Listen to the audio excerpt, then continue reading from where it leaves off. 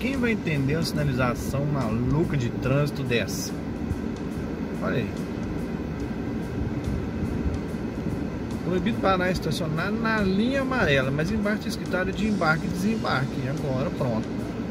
E tem horário ainda, de segunda a sexta-feira, 6 e meia, 7 e meia, de 11 e meia, de 11 às 13 horas. E aí meteram uns cones também. Sendo que não tem nada pintado, tem nada. Eu, hein? Tô doido! Coisa das Gerais. Alguém aí sabe o que significa isso? Me explica aí.